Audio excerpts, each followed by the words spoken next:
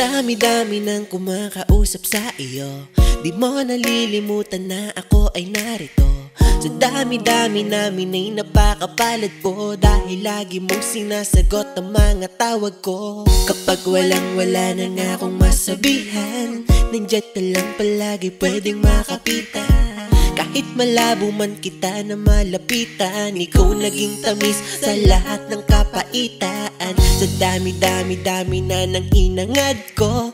Salamat dahil binigay mo din agad to. Kahit madami pang hindi at di lahat to Ay ibibigay mo ora mismo tinanggap ko. Ang katotohanan na ang pinaka The best ko na nakilala ay ikaw kung kaya asahan mo Dyan sa palad mo ay malabo na. Akong makabilangan at kausap Nandyan ka lang palagi. Kahit di hinahanap ay nakaabang parati. Ka lang naman sa akin na ikay aking tawagin. Hanggang naunawaan na mabuti ka sa akin. Napakabuti mo. Salamat Dahil ang mga mali ko di mo alintana. Mula nang makilala kita ay nakasama ko na. Araw-araw ang handog mo na biyaya. Oh, oh, oh. Karapat dapat ako'y kamuhian mo. Kahit minu-minuto pa napapurihan ko. Ang ngalan mo sa dami na ng kasalanan ko. Pero gumawa ka ng daan para mapatawad mo. Oh.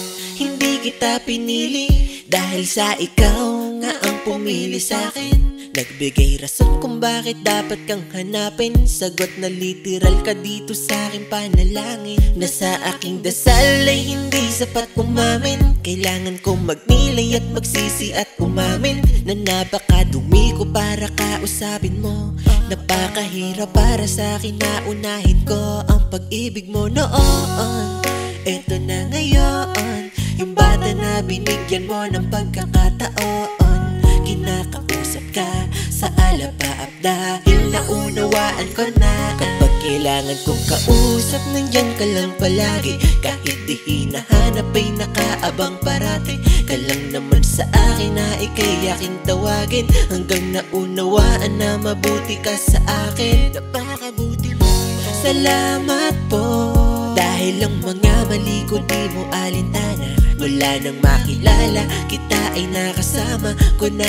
Araw-araw ang handog mo na biyaya. Kapag kailangan kong kausap nandyan ka lang palagi. Kahit di hinahanap ay nakaabang parati Ka lang naman sa akin na ikay aking tawagin. Hanggang naunawaan na mabuti ka sa akin. Napakabuti mo.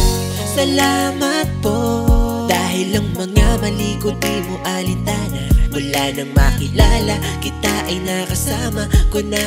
Araw-araw ang handog mo na biyaya. Oh,